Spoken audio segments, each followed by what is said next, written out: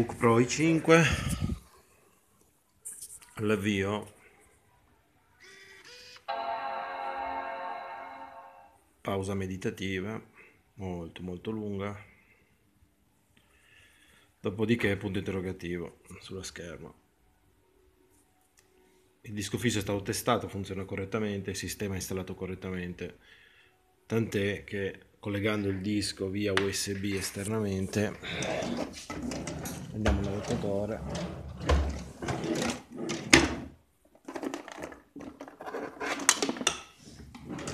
tra un po' dovrebbe apparire.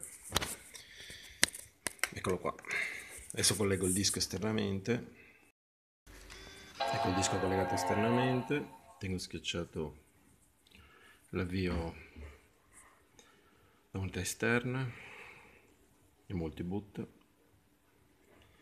Voilà ecco qua apparire il disco attaccato via usb e l'avvio avviene normalmente molto lentamente naturalmente. Quindi procederò a contattare il cliente per il, la sostituzione della flat SATA visto che è una parte che ho già cambiato in passato che provoca il problema. In passato è già successo con queste, queste flat che si danneggiano probabilmente visto che sono molto molto sottili eh, può darsi che si deteriorino nel tempo sia per un'ossidazione o per il calore visto che ci passa comunque all'interno della corrente elettrica e probabilmente aumenta l'impedenza delle tracks di questa flat e c'è una perdita dati che viene sicuramente risolta rinviando i dati ma che comunque abbassa la velocità del disco fisso e che comunque eh, peggiorando fa in modo che non vengano più identificati i dischi fissi e per esempio nel caso degli SSD quando vengono sostituiti da elettromeccanici a SSD se l'SSD non viene rilevato è quasi con il 90% di possibilità un problema della flat deteriorata. È finalmente arrivata la, la flat di ricambio del MacBook Pro quello che riesce a boostare solo via USB oppure dall'interno solo da alcuni dischi fissi.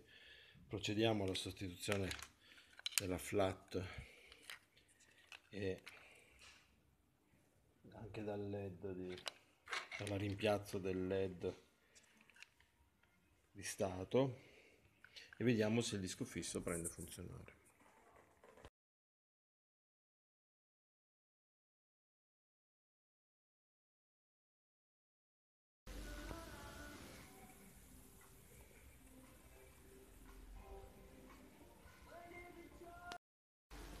Prima effettuiamo il test collegando il disco che non bootstrappa.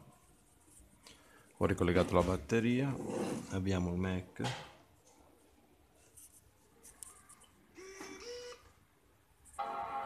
Potrebbe essere necessario un reset PRAM. Voilà.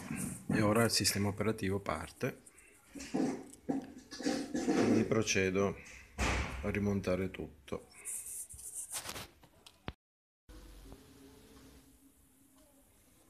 Ecco il disco montato. Anche il led frontale è stato riattaccato alla flat di sostituzione SATA.